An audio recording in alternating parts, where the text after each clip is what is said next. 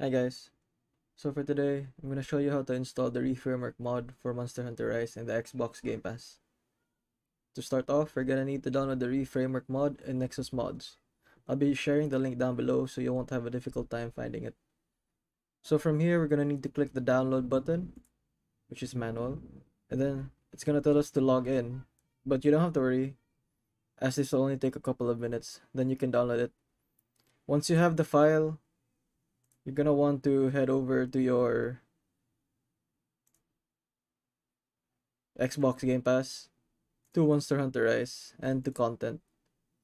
And from here, you're gonna want to install all the content inside the ReFramework mod over here inside the Monster Hunter Rise folder.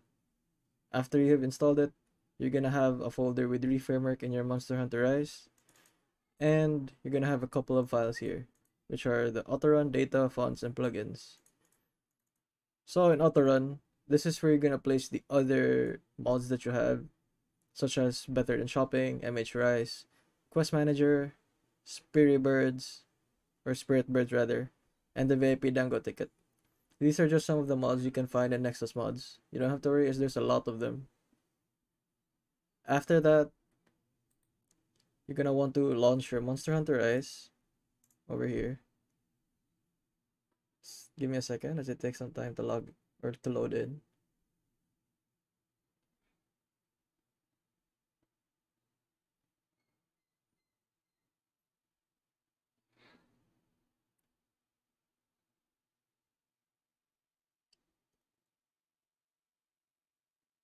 So this is actually my first tutorial video and yeah, I hope I'm doing well.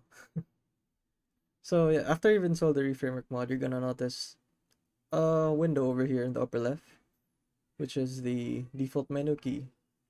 Now, and this is the ReFramework mod, or the screen rather that we want to see. If you want to hide it, you can just press the insert button. As for it's the default key, which is insert. Here you go. And then we're gonna be able to see all of our scripts that we've installed here in the script generated UI. So in my end, the things I've installed such as the Better Than Shopping, the Coavins DPS meter, the Quest Manager, the Toggle Spirit Bird GUI, and the VIP Dango tickets. And so yeah, that's basically it as how you can install and make ReFramework work. I've tried the other mod which is the Fluffy, but I'm actually having errors with regards to it right now which is why I've resorted to using ReFramework. Specifically for the Xbox Game Pass. So yeah, that's basically it. Hope you guys enjoyed it. And happy modding. Thank you.